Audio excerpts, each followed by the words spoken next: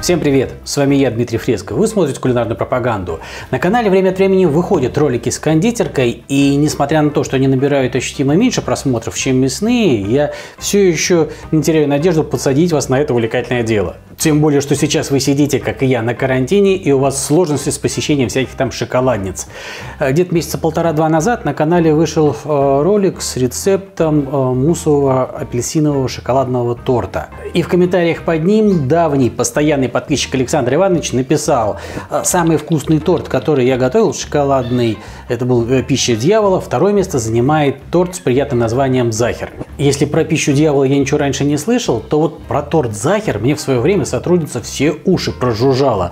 Попробовала на его где-то там за границей, потом везде в разных московских местах его пробовала. И такой классный, такой замечательный. Короче, я решил попробовать его приготовить.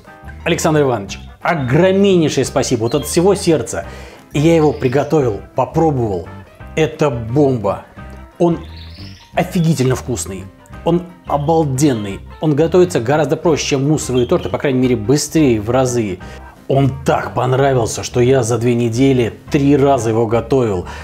Моментально съедается, очень вкусный, готовится быстро. Э, я бы на самом деле и чаще его готовил, но встал на весы плюс 2 килограмма. Пришлось сделать перерыв, чтобы немножечко прийти в себя. Итак, перечень ингредиентов и основные этапы готовки, как всегда, в конце ролика прочитаете, а сейчас приступим. Шоколад ставлю топиться на водяной бане.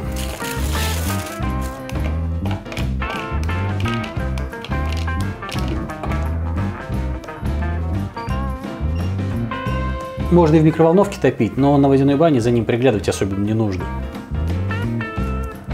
Так, духовка уже греется. Мне надо приготовить тесто для бисквита. Сначала масло с сахаром до бела взбиваю.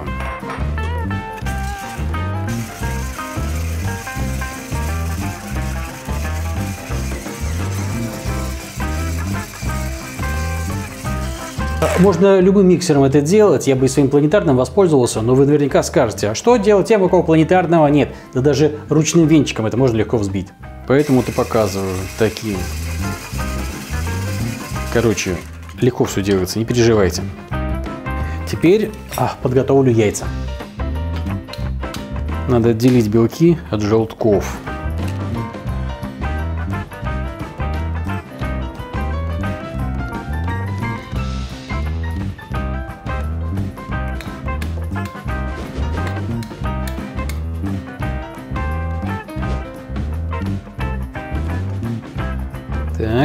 Белки чуть позже я буду взбивать отдельно, а желтки сейчас вводим в масляно-сахарную смесь.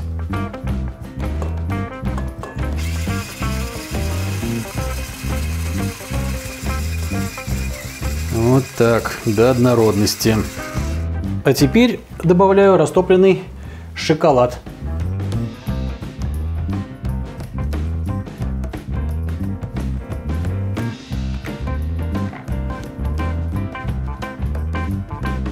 И, естественно, тоже перемешиваю до однородности.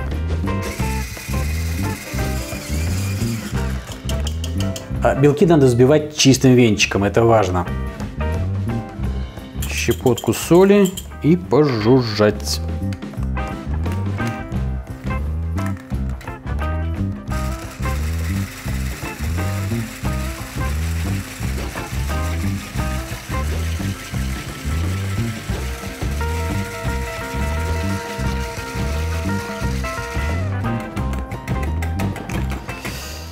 Если из чашки не вываливаются, значит взбиты. Белки вводим в смесь лопаткой и аккуратно вот так вот движениями снизу вверх перемешиваем. Опять-таки до однородности.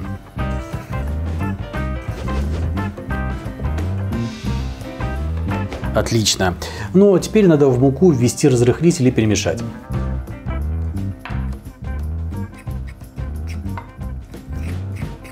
Так, очень хорошо.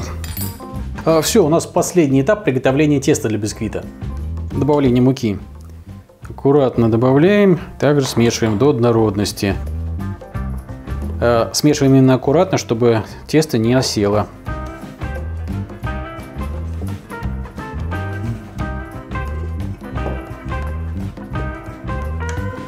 Вообще-то ваниль в классическом варианте в тесто не добавляется, но я последние два раза именно с ней готовил, и мне так понравилось гораздо больше. Поэтому чуть-чуть добавлю ванильного экстракта. Если у вас его нет, можно добавить ванилин или ванильный сахар. Ну, чуть-чуть. Ванильного сахара там, ну, чайную ложку хватит.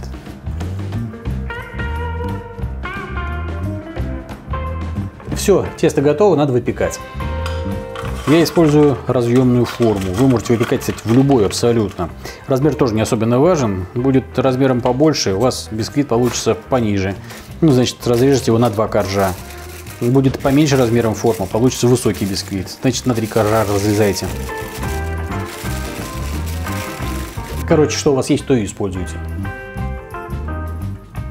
На дне бумага для выпечки, а стенки, вот как видите, ничем не закрывал. Тесто выкладываем и разравниваем поверхность.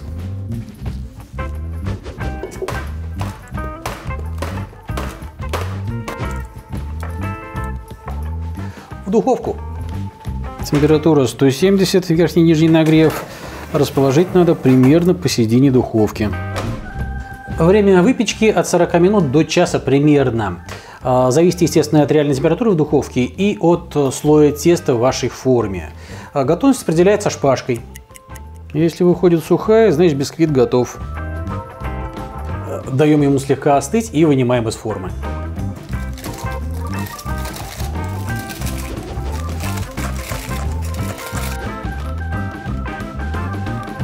Теперь разрезаем на коржи и удаляем все лишнее. Самое главное удалить корочку с поверхности, для того, чтобы вот эта верхушка, поверхность была пористая и очень хорошо впитывался в джем.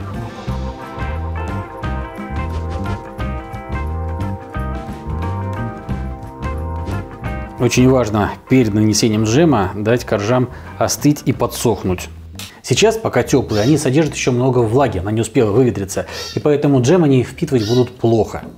А вот когда остынут, подсохнут, и как губка в себя все всосут. Пусть лежат на решетке. Можно, кстати, использовать решетку из духовки. А, а я пока подготовлю джем. Его надо растопить и обязательно добавить чуть-чуть воды, чтобы более жидкий был.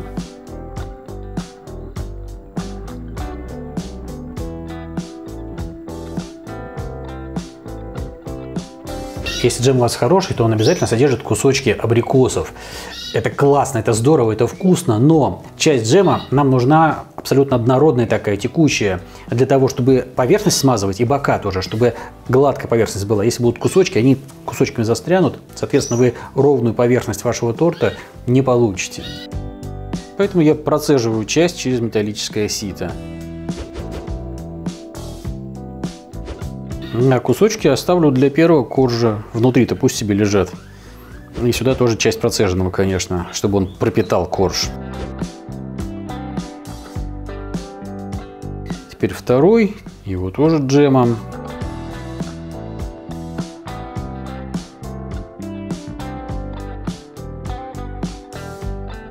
И так до победного конца. После установки последнего коржа смазываем и сверху, и с боков. Вот так вот. И в таком виде в холодильник на полтора-два часа. А, нужно, чтобы коржи как следует пропитались. И не переживайте, что в холодильнике они где плохо пропитаются.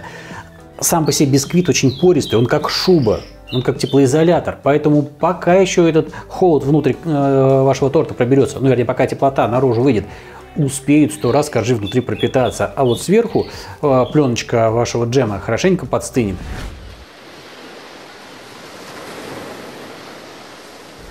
Завершающий этап. На водяной бане топим шоколад для глазури. И теперь добавляем в него сливочное масло.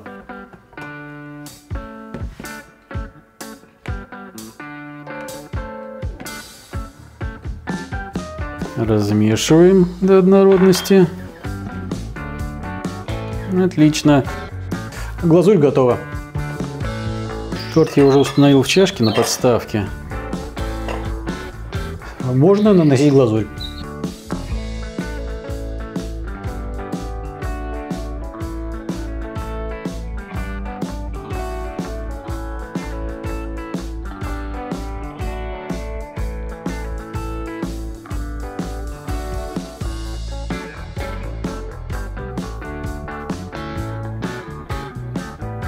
Готовый торт надо бы оставить в холодильнике на полчасика, чтобы глазурь окончательно застыла, после чего можно трескать.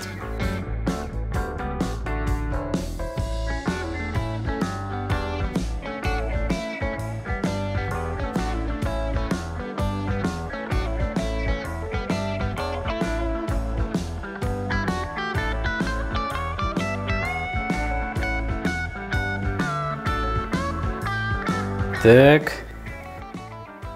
Ну и наконец-таки можно его попробовать.